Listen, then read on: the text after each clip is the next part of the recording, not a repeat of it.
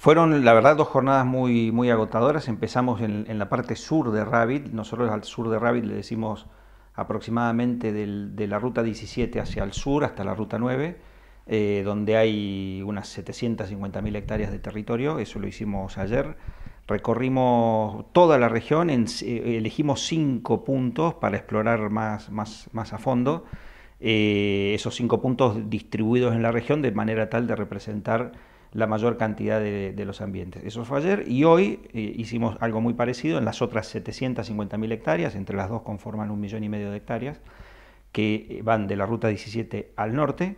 Eso lo hicimos hoy. También elegimos cinco puntos distribuidos geográficamente de manera tal de abarcar todos los ambientes y en esos cinco puntos nos detuvimos y hicimos un análisis eh, en profundidad con la ayuda del ingeniero Emilio Satorre. Eh, la verdad, eso significa haber visto el 10% nada más de todos los, puntos donde estamos haciendo este seguimiento de, 120 variables que conforman la, metodología y la red Rabbit.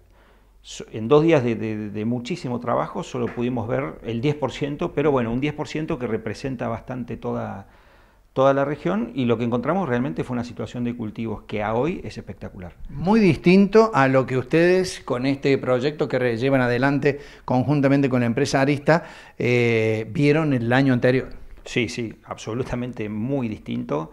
Eh, realmente el año, el año pasado fue extremo malo y este año la situación a hoy es que va a ser un año extremo bueno.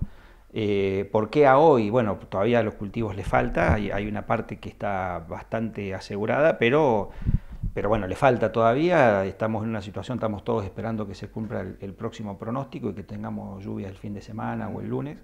Si eso ocurre, realmente vamos a, una cosecha muy, muy importante.